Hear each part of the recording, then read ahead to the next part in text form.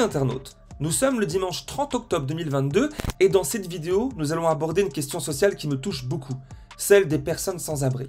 Pour cela, j'ai invité le député LFI NUPS William Martinet qui répondra à mes questions dans quelques instants. Car le sujet est plus que jamais d'actualité. Il est estimé à 2000 le nombre d'enfants à la rue dans notre pays. 2000.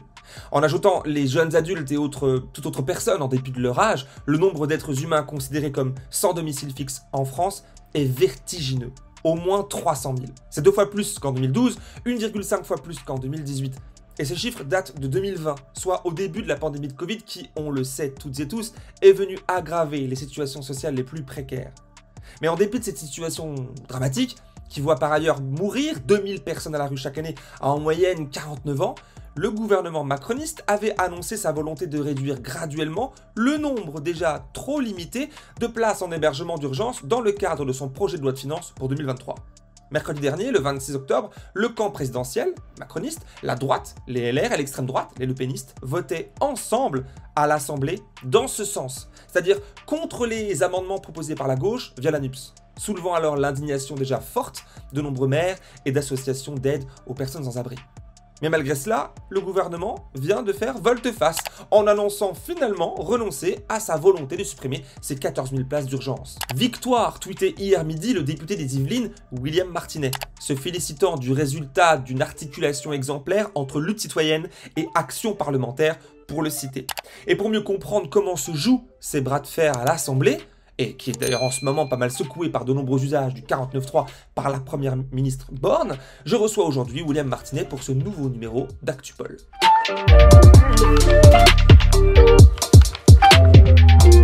Bonjour William Martinet. Bonjour. Vous êtes député des Yvelines, étiqueté LFI NUPS, c'est votre premier mandat. Auparavant, vous étiez militant à l'UNEF, puis pour la cause des sans-abri. Vous connaissez donc bien le sujet qu'on va aborder aujourd'hui. Hier, vous avez crié victoire sur Twitter après l'annonce du ministre du Logement Olivier Klein. Le gouvernement décide finalement de préserver le, quasi même nombre, je dis bien quasi, euh, de places en hébergement d'urgence, quasi puisque ce sera compris entre 197 et 198 000 places en 2023 au lieu des 200 000 au début du Covid. C'est finalement quand même un recul, non? 2000 places en moins. Oui, de toute façon, je crois que euh, hier, nous avons surtout eu un, sentiment très partagé. D'un côté, euh, celui de la victoire, comme vous mhm. l'avez dit, puisque c'est du fait du rapport de force, d'une articulation, je crois, exemplaire entre les luttes citoyennes et l'action parlementaire à travers la NUPES, nous avons réussi à, empêcher le gouvernement euh, de faire euh, un certain nombre d'économies budgétaires sur l'hébergement euh, d'urgence. Mais sentiment partagé parce qu'on a aussi la, conscience totale que nous avons empêché un recul, ou en tout cas le, plus gros du recul, mais que la situation sur le terrain n'en reste pas moins absolument grave. Euh, et que l'ampleur du sans-abrisme euh, est, toujours, euh, est toujours là. Il n'y aura peut-être pas plus d'enfants et plus de personnes à la rue suite à ce projet de loi de finances, mais il y en aura toujours autant. Donc finalement, la question n'est pas tant est-ce qu'on est à moins de 2000 places ou pas? La question est, maintenant qu'on a empêché un recul important, que faisons-nous pour que structurellement la question du sans-abrisme soit réglée dans le pays? Et là, on a encore beaucoup de travail effectivement, on comprend. Euh, j'ai mille questions à vous poser hein, sur ce sujet qui me passionne personnellement aussi. Alors, premièrement, quels sont concrètement, rapidement, les moyens, du coup, concrets manquants pour résoudre la situation? Euh, Peut-être d'autres questions en même temps. Quelles décisions politiques bah, précises, encore une fois, votre camp politique à vous, s'il était parvenu au pouvoir il y a quelques mois, aurait-il pris dans cette situation? Alors, il faut d'abord avoir en tête une chose, c'est que la question du sans-abrisme, n'est que l'expression euh, la plus radicale euh, de la crise du logement. Et on ne résoudra pas la question du sans-abrisme si on ne résout pas la crise du logement. Euh, si je l'exprime d'une autre façon, il faut imaginer que dans notre pays, l'accès au logement, c'est comme une grande file d'attente. Et quand, à cause de la crise du logement, il est difficile de trouver un logement, eh bien, c'est ceux qui sont tout au bout de la file parce que travailleurs pauvres, parce que personnes sans ressources, parce que femmes isolées, euh, parce que familles euh, sans papier, ce sont ceux qui sont au bout euh, de la queue, qui soit n'arrivent pas à trouver de logement du tout, ou alors trouvent des logements qui sont insalubres, gérés par des marchands de sommeil, etc. Donc, ça, c'est la première chose à avoir euh, en tête, c'est que ce n'est pas à travers la question de l'hébergement d'urgence qu'on réglera le sans-abrisme. On réglera le sans-abrisme le jour où on arrivera à avoir suffisamment de construction de logements euh, dignes à un prix euh, abordable. Et la question de l'hébergement d'urgence ne peut être qu'une, comme son nom l'indique, qu'une solution d'urgence. Il y en a des. Enfin, vous dites, du coup, vous, construiriez plus de logements. Mais on, sait, et si on creuse un peu la question, que des, des mètres carrés disponibles des fois chauffés à vide, euh, que ce soit des bureaux, des commerces ou autres, même des logements. À Paris, il y en a 100 000, 150 000, je crois, qui sont libres depuis plus de deux ans. C'est une des solutions. Alors là aussi, il faut, euh, sur, un sujet aussi sérieux, et comme euh, se pose notamment la question que, vous m'avez posée à l'instant, que ferions-nous si nous étions au pouvoir, qui est un vrai sujet et qui implique du coup de ne pas simplement avoir des paroles en l'air, mais d'avoir des choses très concrètes à, mettre en place. la question du logement vacant, c'est une des solutions à notre disposition.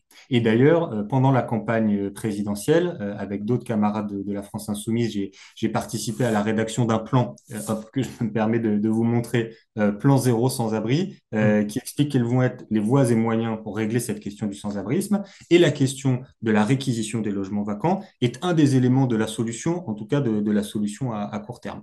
Mais je tiens à dire qu'il faut quand même, comment dire, être raisonnable sur à quel point la réquisition permettra de régler le problème. Parce que si on se donne quelques chiffres, on a euh, dans toute la France euh, à peu près 300 000 logements qui sont durablement euh, vacants. Hein, parce que là, on ne parle pas d'un logement qui est vide entre deux locations, on parle de logements qui sont durablement euh, vacants et dont c'est un problème social qu'ils soient inoccupés alors qu'il y a des personnes qui n'ont pas de logement du tout ou des logements de mauvaise qualité, etc. Sur ces 300 000, si on fait euh, le tri entre des logements inoccupés, euh, mais dans des zones, par exemple, rurales où il y a très peu de tension, très peu de demandes sur le logement, enfin bref, si on fait le tri, on en arrive sans doute à quelque chose comme 100 000 logements vacants qui réellement pourraient être réquisitionnés pour pouvoir loger des personnes. Donc 100 000, ce n'est pas rien. Euh, et, c'est une responsabilité politique de réquisitionner ces 100 000 logements euh, pour euh, améliorer le, droit au logement pour ceux qui n'en ont pas. Mais 100 000, ça ne suffit pas. Je, pense vraiment, il faut le dire, on ne peut pas régler le problème du droit au logement uniquement par l'outil de la réquisition. On a besoin de produire du logement qui soit à un prix abordable, pour, tout simplement pour des raisons déjà démographiques, parce que la population en France, elle augmente, pour des raisons sociologiques aussi, parce que du fait de l'évolution euh, des familles, euh, on a de plus en plus de euh, familles avec notamment des mères célibataires, ou en tout cas des parents avec des parents seuls avec enfants, qui mécaniquement du coup augmentent le besoin de nombre de logements. Donc pour toutes ces raisons-là, on a besoin de produire du logement, ça fait aussi partie de la, de la solution. Un produit de logement, c'est une chose qui s'inscrit dans le temps long, euh, mais on se souvient tous euh, du président Macron en 2017 qui promettait lui tout de suite de sortir à la rue le plus rapidement possible les personnes, euh, pour le citer rapidement de mémoire, de, plus personne dans les bois, plus personne dans la rue, plus personne sur les trottoirs de France. une des solutions serait donc mécaniquement rapide de, réquisitionner ces, logements. ben, ce serait celle-ci. Pourquoi Emmanuel Macron ne fait-il pas ce qu'il a promis en 2007 selon vous? Est-ce que c'est un manque de volonté politique? En partie ou pas? Ou alors la traduction d'une situation pas si simple que ça et finalement ce serait un peu démago que de s'attaquer à Macron euh, sans doute plusieurs choses. Euh, je pense qu'il y a de la part de, nos dirigeants politiques euh, un vrai élément qui est la méconnaissance de la réalité sociale.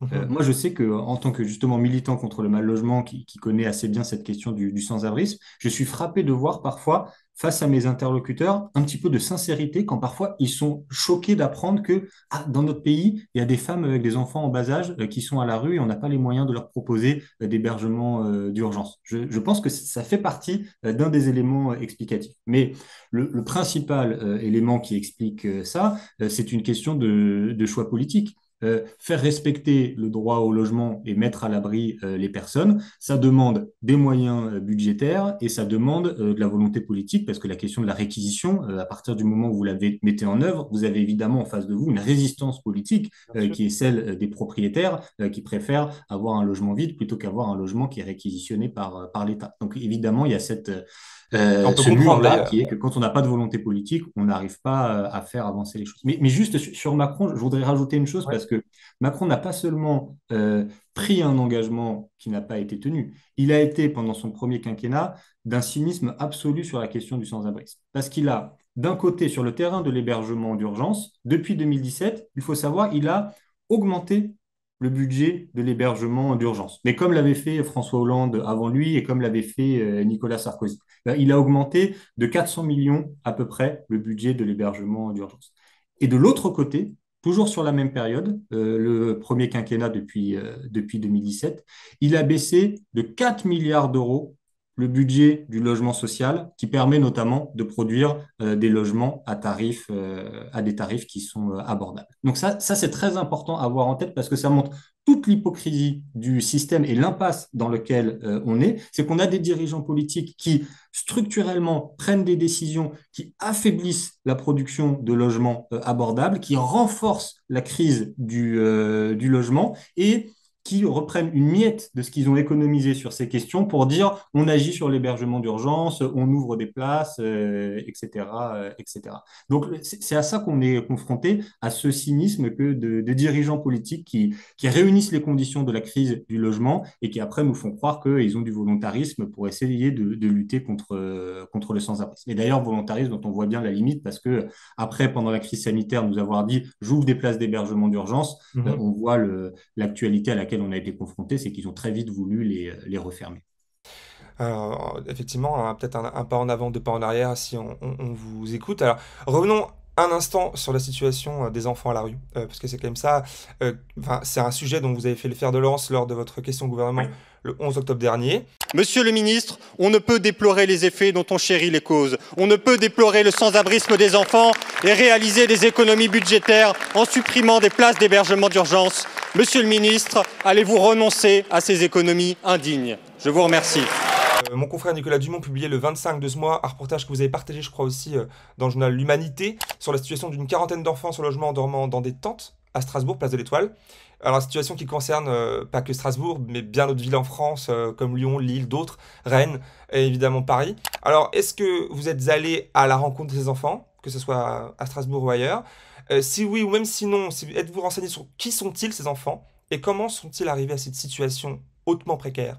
Alors, moi, je me suis déplacé en particulier à, à Lyon, puisque hum, c'est d'ailleurs de, Lyon qu'est partie euh, cette mobilisation citoyenne euh, pour défendre euh, les enfants sans toit, avec un collectif dont je pense vraiment il faut saluer l'action et, j'en profite pour les citer. C'est un collectif citoyen qui s'appelle Jamais sans toit et donc qui, agit à l'échelle de la métropole lyonnaise, qui agit maintenant depuis de, nombreuses années. C'est mmh. relativement récent leur médiatisation nationale, mais, mais leur action militante, elle, dure depuis, depuis plusieurs années et, et leur démarche consiste, quand ils identifient dans une école euh, des enfants qui sont euh, sans abri, c'est de se mobiliser entre parents d'élèves et professeurs pour euh, occuper l'école la nuit pour donner un toit à ses enfants, ce qui du coup a un double intérêt, c'est qu'à la fois, bah, évidemment, ça permet de mettre les enfants euh, à l'abri et c'est euh, c'est quelque chose d'utile, et en plus, ça permet de visibiliser le problème du sans-abrisme de ces enfants et d'interpeller les, les, pouvoirs publics. Donc moi, je, je suis allé plusieurs fois, euh, ça fait deux fois là cette année que je suis allé à, à, Lyon pour discuter avec les bénévoles et, et les personnes qui, qui occupaient les, les, écoles. Et du coup, bah, dans les profils des, de, ces, de ces enfants, alors évidemment, comme toujours, c'est euh, c'est varié. Euh, vous avez à une écrasante majorité euh, des mères célibataires avec leurs enfants. C'est la, quasi, en tout cas dans ceux que j'ai vus, c'est la quasi-totalité des, des, situations. Et vous avez beaucoup de mères qui sont sans papier.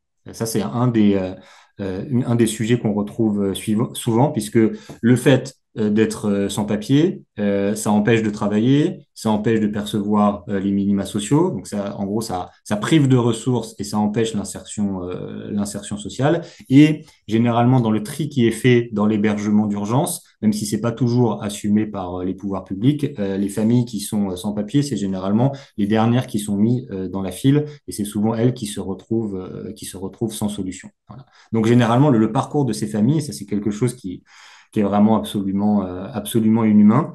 Euh, quand vous êtes comme ça, une femme avec des enfants scolarisés, que vous vivez en France depuis quelques années, mais que vous n'avez pas de papier, en fait, il faut accepter de vivre dans les conditions extrêmement précaires de la rue ou de l'hébergement d'urgence pendant au moins cinq ans. Et au bout de cinq ans, c'est-à-dire qu'une fois que vous avez vos enfants qui ont été scolarisés cinq ans euh, en France, vous commencez à rentrer dans les critères qui permettent d'envisager une, une, régularisation et donc de pouvoir euh, vous insérer, euh, vous insérer socialement. Donc l'hébergement d'urgence ou la rue, quand l'hébergement d'urgence répond pas aux enjeux de mise à l'abri, en fait, joue le rôle en partie de sas de précarité dans lequel on fait passer des personnes immigrées avant de éventuellement à la fin leur accorder un titre de séjour et permettre de les, permettre de les insérer. Alors, vous parliez à l'instant là dans, dans, votre réponse de, de, ces enseignants et de ces personnes qui aident jusqu'à mobiliser finalement des classes d'école pour héberger ses élèves sans, sans, toit. Alors, il y a quelques jours, le gouvernement, via l'éducation nationale, menaçait de sanctions ces enseignants qui se mobilisent du coup pour protéger leurs élèves à la rue. Qu'est-ce que, ça raconte, selon vous, euh, cet épisode-là de la situation globale? Euh, mais Je crois qu'ils ont peur de la contagion. Euh, puisque le, si on refait cette histoire-là, il y a le, collectif Jamais sans toi à Lyon, je le disais, qui est actif depuis plusieurs années. Il y a un réseau national d'associations qui s'est créé avec euh, la Fondation Abbé Pierre, euh, qui, vous le savez, lutte contre le mal logement, l'UNICEF qui défend le droit des enfants, la FCPE euh, qui est une fédération de, de parents d'élèves, se sont coalisés à l'échelle nationale pour euh, soutenir et encourager d'autres initiatives comme celle de Lyon euh, pour les occupations d'écoles. Et c'est notamment grâce à cette coalition que, vous l'avez dit, on a d'autres illustrations à Strasbourg, à, Rennes, à Paris également. voilà, il y a un effet, un effet boule de, boule de neige qui est extrêmement positif, c'est-à-dire des, des, citoyens qui s'engagent dans la lutte, qui sont indignés d'une situation qui est celle du sans-abrisme des, des enfants et qui à la fois veulent apporter une aide concrète en mettant à l'abri les enfants dans l'école, et puis surtout construire un rapport de force avec le, avec le gouvernement. Et je crois que c'est ce, ce risque d'effet euh, d'entraînement, de généralisation de cette lutte citoyenne à l'échelle de tout le pays, qui explique pourquoi à certains endroits, on a eu des réponses qui sont euh, très répressives, qui ont été des, des menaces de sanctions euh, à destination notamment des enseignants qui organisaient les occupations d'école, parce que le pouvoir politique n'a pas envie que que ce vent de solidarité euh, souffle dans tout le pays. Donc, ils ont essayé par la répression, mais comme ils le font dans les autres mouvements sociaux, par la répression, ils ont essayé d'y euh, mettre un terme. Euh, néanmoins, alors, on avait vu juste avant un extrait à l'écran de votre question au gouvernement. Le ministre de l'écologie, puisque le ministre du logement n'était pas présent ce jour-là, vous avez vous répondez ce jour-là, le 11 octobre dernier. Je vous remercie. La parole est à Monsieur Christophe Béchu. Ces situations et la question plus large de l'hébergement, du toit, pour chacun ici dans ce pays est bien une priorité du gouvernement et du ministère de la Transition écologique et de la cohésion des territoires. C'était un engagement du gouvernement, il est tenu. Un observatoire hebdomadaire des situations préoccupantes est mis en place. Cet observatoire piloté par la DIAL toutes les semaines fera un point sur les situations préoccupantes et concernant les familles concrètes, des solutions ont déjà été trouvées pour les familles sur lesquelles Olivier Klein a été interpellé. Je vous remercie. Je vous remercie, monsieur le ministre. Et pendant sa réponse, on entendait les bancs de la NUPES réagir bruyamment. Pourquoi? Euh, parce qu'il n'a pas répondu à ma question. c'est aussi simple que ça, je le dis en rigolant, mais, mais c'est terrible. On, je, pose une question dans ce moment très formel que sont les questions au, gouvernement. Alors déjà, premier problème, ma question s'adressait au ministre du Logement et je ne sais pour quelle raison le ministre du Logement était absent à cette séance des questions au gouvernement. Donc du coup, c'est le ministre euh, de la cohésion des territoires qui me répond, dont ça se voit alors, je ne sais pas à quel point il ne maîtrise pas le dossier ou, volontairement il répond à côté euh, de ma question pour pas être mis en difficulté euh, politiquement. Mais voilà, en tout cas, il, nous, il nous parle d'ouverture de places d'hébergement qui sont en fait des places d'hébergement euh, dans le dispositif national d'asile pour accueillir les demandeurs d'asile, qui n'a rien à voir avec la question que je pose sur la fermeture des places d'hébergement d'urgence. Et puis en plus, là, ce qui était particulier à ce moment-là, c'est que dans ma question au ministre du Logement, je pose la question de ces 14 000 suppressions de places d'hébergement qui sont euh, euh, qui à l'époque devaient être supprimés. Mais je pose aussi une autre question plus précise au ministre. Je reviens sur un engagement que lui-même avait pris il y a quelques semaines lors d'un déplacement à Lyon de mettre à l'abri tous les enfants à la rue dans la métropole lyonnaise. Parce qu'il s'était permis, c'était sur euh, BFM Lyon,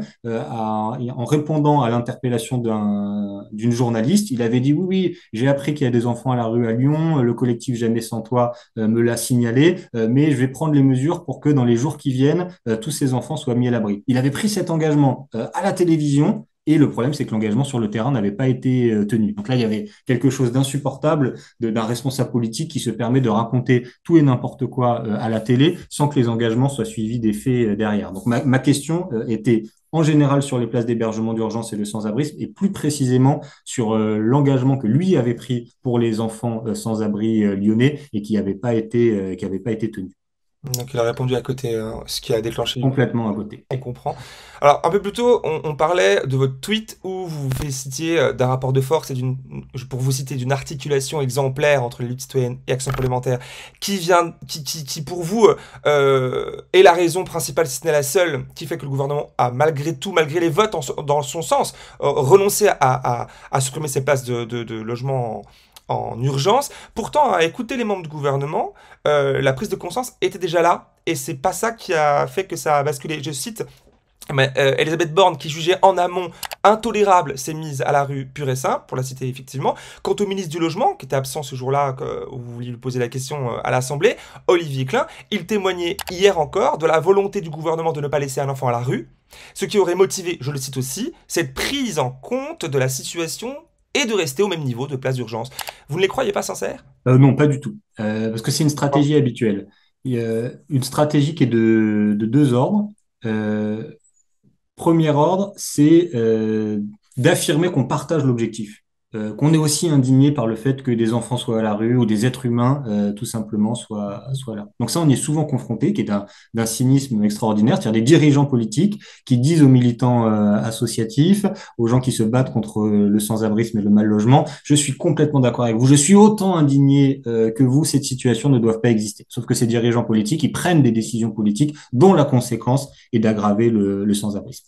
Après, il y a une autre stratégie euh, auquel on a assisté, cette fois c'était en commission des finances, quand on a débattu de la question euh, du budget de l'hébergement euh, d'urgence, c'est la stratégie qui consiste à nier la réalité. Euh, en commission des finances, on a été confronté à un, rapporteur euh, Renaissance euh, qui s'appelle Jolivet, donc qui est le député de la majorité qui est en charge de défendre le projet de loi de finances et donc là en l'occurrence les suppressions de places d'hébergement d'urgence. Donc on lui disait c'est insupportable de supprimer 4 000, 14 000 places quand il y a des enfants à la rue, etc. On donnait les chiffres des associations, ce que vous avez évoqué tout à l'heure, et le rapporteur Jolivet relativisait ces chiffres. Il dit oulala, vous nous donnez des chiffres, est-ce qu'il faut vraiment les croire Est-ce qu'il y a autant d'enfants euh, à la rue? Je suis pas certain. Vous savez, on a des difficultés dans les systèmes d'information à recueillir des données fiables, ce qui est d'ailleurs un vrai problème d'évaluation des politiques publiques. Enfin bref, ils essayent de noyer le poisson pour noyer la réalité du, du sans-abrisme. Donc ces deux stratégies-là, d'un côté qui consiste à dire ah, on est parfaitement d'accord avec vous, hein, le, sans-abrisme c'est scandaleux. De l'autre côté de dire est-ce que le phénomène est aussi important que ça? Est-ce que vous exagériez pas un petit peu les chiffres? C'est deux stratégies absolument classiques euh, pour justifier l'inaction sur le terrain de la lutte contre le sans-abrisme. Donc, je suis pas étonné que le, gouvernement ait développé ces stratégies ces, dernières semaines. Pour rebondir un peu et me faire l'avocat un peu du diable, le, chiffrage, il est vrai que le chiffrage des personnes à la rue est quand même compliqué, mais peut-être pas dans ce sens, justement. On, imagine qu'en fait, il y en a plus, c'est bien ça. Hein Exactement. Bah, si je reprends le chiffre que vous avez évoqué tout à l'heure sur le, les à peu près 2000 enfants qui sont à la rue. En fait, si on est plus précis, on sait que chaque soir, il y a au moins 2000 enfants dont la situation est signalée au numéro d'urgence 115, euh, qui sont des enfants à la rue et dont le 115 n'est pas en mesure euh, de proposer une solution d'hébergement d'urgence pour les mettre à l'abri. Donc quand on parle de ces 2000 enfants, c'est on mesure juste tous les soirs le nombre de sollicitations qui sont faites au 115 et euh, auxquelles on ne peut pas faire de réponse euh, satisfaisante. Donc du coup, vous avez raison de dire que ce chiffre, il n'est pas fiable, mais pas dans le sens où il surestime le sans-abrisme, mais inversement, sans doute dans le sens où il sous-estime le sans-abrisme, c'est-à-dire qu'il y a sans doute beaucoup de familles euh, avec des enfants, peut-être en bas âge, qui ne sollicitent pas le 115, soit parce qu'elles n'en ont pas connaissance, soit parce qu'elles n'arrivent pas à le joindre, parce que vous savez que c'est, il faut rester parfois plusieurs heures au bout du fil pour réussir à appeler le, le 115, enfin avoir quelqu'un qui décroche au, téléphone, soit aussi des familles qui savent qu'il y a tellement peu d'hébergements d'urgence qui sont euh, proposés euh, que du coup, ça vaut pas le coup de dépenser de l'énergie pour appeler le 115 et qui du coup euh, n'accèdent pas à ce droit-là qui est de signaler leur situation au 115 et préfèrent se débrouiller, se débrouiller tout seul. Donc vous avez raison de dire que sans doute ce chiffre est en fait sous-estimé par rapport à, la réalité. Alors dans l'actualité encore chaude, il y a eu, vu que le, ministre Béchu vous parlait plutôt de, de, de migrants et autres exilés. Il y a eu l'évacuation du campement de la porte de la Villette, il y a une vingtaine de jours seulement. Euh, le, Gérald Darmanin, le ministre de la Police, se félicitait sur Twitter d'avoir envoyé 1000 policiers pour évacuer une centaine de personnes, dont de nombreuses consommatrices de crack, là où beaucoup dénoncent l'absence de plan sanitaire et social dans le même temps. Et idem du côté euh, du quartier de la Chapelle, dans le 18e, à Paris toujours, où cette fois il s'agissait de mettre à l'abri, euh, alors ce terme peut-être un petit peu problématique, 634 personnes exilées, elles, qui survivaient dans un compte fortune sous les rails du métro. Est-ce que l'État est au rendez-vous, en fait, selon vous, là, en, mettant à l'abri, comme ils disent, et, en évacuant? Euh, Absolument pas, parce que euh, vous l'avez dit, en fait, dans le nord de, Paris, il y a deux sujets qui sont en train de, se mélanger. un sujet qui est celui de, la toxicomanie, c'est-à-dire des, des, consommateurs principalement de crack euh, qui en fait sont expulsés d'un territoire à un autre de Paris euh, et qui ont été là renvoyés. Alors même plus maintenant dans le nord de Paris, maintenant on est plutôt euh, au-dessus du périphérique, on est à, Aubervilliers. Donc ça c'est sujet, le sujet des toxicomanes, des consommateurs de, de crack. Et vous avez en même temps un autre public très précaire, très vulnérable, qui subit le même phénomène d'exclusion, c'est-à-dire d'être repoussé euh, au-delà du périphérique, euh, qui cette fois sont les, migrants, les personnes qui sont dans une situation administrative précaire, qui ne bénéficient pas de l'hébergement du système, du système d'asile. Donc vous avez ces deux publics dont les, histoires et les parcours de vie, euh, a priori, n'ont rien à voir. C'est pas la même chose de, fuir son pays euh, pour une raison X ou Y euh, que d'être dépendant à la consommation de, de, crack. Mais vous avez malheureusement une convergence qui fait que tous ces gens-là qui sont en fait des publics précaires que la société veut exclure, que la société veut pas voir, on les repousse et on les met au même, on les met au même endroit. Et avec à la fin un gloubi-boulga, un mélange de, un mélange de tout ça. Et donc, pour répondre à, votre question, non, les pouvoirs publics sont absolument pas à, la hauteur, parce que sur la question de la consommation euh, de, crack, euh, il faudrait euh, des mesures sanitaires extrêmement puissantes, extrêmement volontaristes, et on aurait les moyens de le faire. la, la, situation des consommateurs de crack au nord de Paris, on parle de quelques centaines de personnes. Alors, Évidemment, c'est beaucoup, euh, surtout pour les, euh, pour les riverains, parce que ces personnes sont toutes au même endroit, mais qu'on ne m'explique pas que la France n'a pas les moyens et n'a pas les compétences sanitaires euh, pour s'occuper de quelques centaines de personnes qui sont dépendantes au crack et qui sont, et qui sont toxicomanes. Donc là, de ce point de vue-là, il n'y a pas de politique volontariste. Et pour ce qui est des, des migrants, là aussi, nous ne sommes pas à la hauteur. pourquoi? Mais parce que le, le droit d'asile, c'est un droit qui est non seulement dans nos textes nationaux, mais qui est aussi dans les conventions internationales que la France euh, a signées. Et le droit d'asile comprend le fait euh, de mettre à l'abri et d'héberger dignement les demandeurs d'asile le temps de leur, de leur démarche. Et ce qui n'est pas fait, et ce qui est une des explications de pourquoi on a des, campements sauvages qui, qui s'organisent. Et quand il y a une démarche de, mise à l'abri par les pouvoirs publics, bon, malheureusement, le résultat, c'est principalement un effet de, de dispersion, parce que les, soit il n'y a pas d'hébergement qui sont proposés suite à ces interventions, soit c'est des hébergements qui sont extrêmement euh, précaires, donc du coup les personnes sont remises à la rue par la suite. Donc le seul effet, c'est qu'on a dispersé le campement, mais on n'a rien résolu de la situation de ces personnes. Et il est vrai que cela euh, peut se vérifier, puisque alors moi qui vis un peu dans ces quartiers-là, euh, dans le nord de Paris, je vois personnellement des forces de l'ordre depuis l'évacuation de ces, de ces endroits-là, bah, camper là. D'ailleurs, la, volonté est partagée avec les maires qui demandaient à ce que la police reste pour éviter que les campements se reforment. C'est qui donc il y a une conscience politique finalement qu'il y a un mensonge quand on dit qu'il y a une mise à l'abri, puisqu'ils demandent que la police reste pour éviter les campements. Euh, oui, bien sûr. Euh, et, euh, mais d'ailleurs, c'est intéressant que vous évoquiez ces, sujets-là parce qu'on a un, point commun, que ce soit dans la lutte contre la toxicomanie, la question des migrants, la question des personnes sans abri, qui encore une fois sont des, des, parcours de vie qui sont très, qui peuvent être très, très différents. Mais il y a un point commun à tout ça, c'est que la principale cohérence des politiques publiques vis-à-vis de ces publics, c'est l'invisibilisation. Ouais une politique publique qui marche, euh, du, point de vue de ceux qui nous dirigent, une politique publique qui marche, ça veut dire soustraire au regard de la population, et surtout de la population qui vote pour vous, et donc qui est bien éduquée, qui est euh, capable de, de, se mobiliser et de faire entendre ce point de vue et de revendiquer, c'est d'avoir dissimulé ces publics euh, et principalement du coup de les avoir écartés à l'extérieur de Paris, parce que c'est souvent ça euh, qui permet de les, euh, de les dissimuler. Alors pour finir notre entretien, j'aimerais qu'on puisse aborder aussi le climat à l'Assemblée nationale, qui est pour le moins électrique. dans l'intro, je parlais du 49.3, qui est utilisé très régulièrement pour écarter tous les votes, notamment ceux de, de, de, de, l'opposition. Alors on voit quand même à l'écran un tweet de votre collègue Antoine Léaumont, député de l'Essonne, se féliciter d'amendements adoptés dans la nuit de vendredi à samedi. Mathilde Panot, votre chef de groupe aussi, faisait euh, de même en annonçant ce matin, enfin hier matin, pardon, 30 amendements NUPS gagnés, mais tout en faisant référence, encore une fois, au risque de l'usage du 49.3 pour écarter les votes. Est-ce que ces risques, ces risques-là, ce risque cette fois-ci est réel alors que ces amendements touchent au droit à l'eau, au droit au logement, etc. dans ce contexte-là? Ah bien sûr, euh, bien sûr, le risque est, réel. Et, c'est d'ailleurs, les deux phénomènes sont liés. C'est parce que le gouvernement n'a pas de majorité au sein de l'Assemblée nationale que du coup, il perd des votes euh, sur des questions qui sont euh, parfois très importantes, qui sont structurelles dans une politique. Là, je crois que ce que vous évoquez, euh, c'est toute la séquence de discussions budgétaires sur les Outre-mer, où nous avons réussi effectivement à faire passer beaucoup d'amendements sur la question du droit au logement, du droit à l'eau, etc., des choses qui étaient, qui étaient importantes. Mais si justement nous avons réussi à faire passer tous ces amendements, c'est parce que le gouvernement a perdu le contrôle, parce que l'Assemblée nationale a été souveraine et que des majorités se sont dégagées autour d'amendements importants.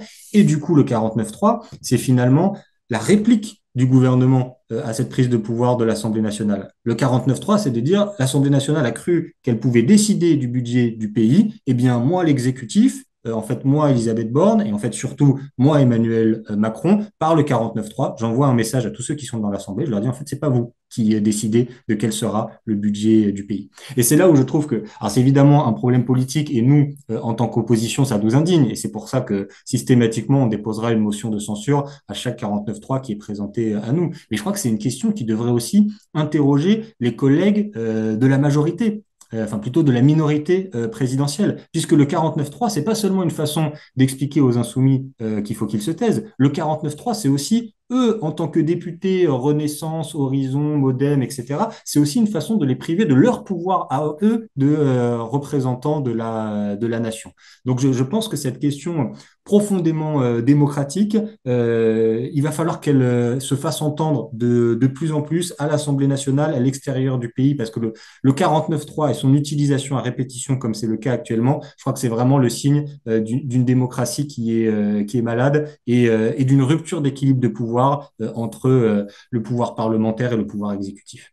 C'est intéressant que vous fassiez référence aux, députés de la majorité, enfin minorité présidentielle à l'Assemblée nationale. Euh, et, leur demander de prendre conscience de cela. Euh, je me souviens de l'épisode, du dernier épisode où, où euh, Elisabeth Borne avait été applaudie. C'était jeudi soir par les députés présents, essentiellement de. Vous étiez d'ailleurs sorti à ce moment-là à la Nupes euh, après l'utilisation du fameux joker constitutionnel, car elle affirmait qu'une majorité de leur amendement sur le texte avait été retenue. C'était le, PLF de la sécurité sociale. et donc, vous pensez vraiment qu'ils sont capables de on leur dit bah pas de souci, on fait le 49.3 mais vous inquiétez pas, on retient vos amendements donc finalement tout baigne.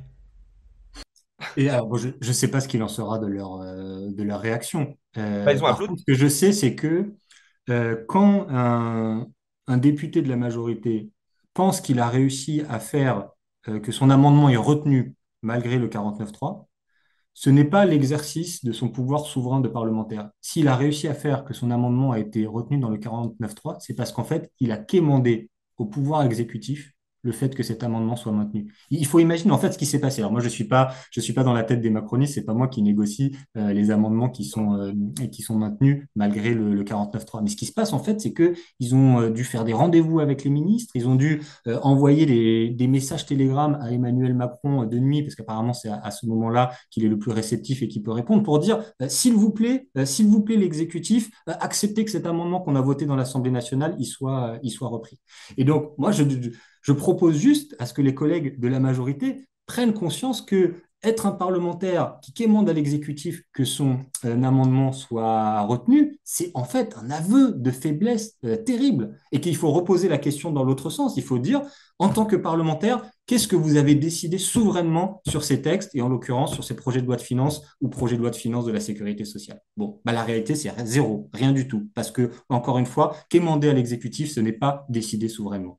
Euh, alors, dernière question, euh, vu qu'on parle du 49.3, est-ce que, euh, enfin, ne, ne pensez-vous pas que cet usage-là, comme l'usage de la répression, d'ailleurs d'une autre expression démocratique, à savoir les manifestations dans, les rues de France, profite en fin de course au pouvoir? Est-ce que, est-ce que vous pensez pas que, c'est-à-dire que en démoralisant la population, puisque c'est un effet qu'on peut voir, hein, en l'accablant d'une forme de fatalisme démocratique, est-ce que ça ne viendrait pas les servir finalement? Les, maintenir au pouvoir, puisque beaucoup de personnes se disent bon, ça sert plus à rien, euh, ne plus manifester, ne plus voter aux législatives, puisqu'à chaque fois, il y, a les coups de matraque et le 49-3. En tout cas, c'est un effet qu'ils recherchent.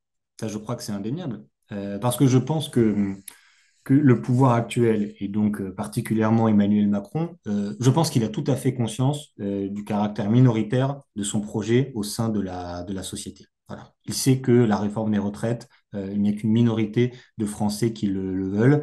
il sait plus généralement que le projet néolibéral, qui est celui qu'il défend, il sait qu'il n'est pas soutenu par la population, par la population française.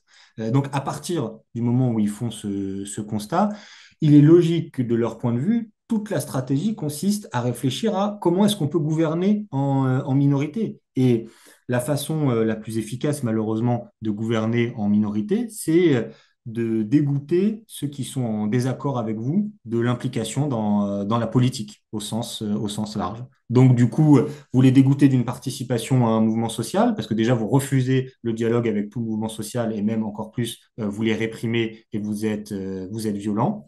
vous euh, refuser dans le cadre parlementaire euh, de discuter, de faire des compromis, vous essayez d'assommer les débats avec le, le 49.3. Voilà. Donc c'est une pente d'ailleurs qui est très qui est très dangereuse parce qu'à partir du moment où vous considérez que même si vous êtes minoritaire, vous devez euh, imposer votre point de vue à l'ensemble de la de la population, il n'y a pas d'autre moyen que le recours euh, à la violence. Alors, à la violence dans tous les sens du terme, la violence symbolique, la violence politique, mais aussi parfois la violence physique, quand ça se traduit par de la répression policière dans les, euh, dans les manifestations. Et donc, face à ça, nous, c'est ça l'énorme enjeu qu'on a devant nous, hein, il faut bien reconnaître qu'il n'est pas, euh, pas évident, hein. c'est que toutes les franges de la population qui ont été exclues de la décision politique et qui en sont dégoûtées, il faut qu'on leur propose un débouché politique qui les, qui les réintéresse au, euh, au, sujet. Il faut que des gens qui aujourd'hui se disent la politique, c'est pas pour moi, tous pourris, qui, ou qui se disent de toute façon, ça servira à rien, on ne sera pas écouté, euh, l'amendement ne sera pas retenu, euh, la loi va pas changer. Il faut qu'on arrive à convaincre ces gens que ça, ça vaut le coup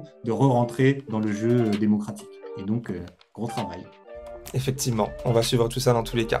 Merci beaucoup, William Martinet, d'avoir répondu à mes questions aujourd'hui. Je vous en prie. À bientôt.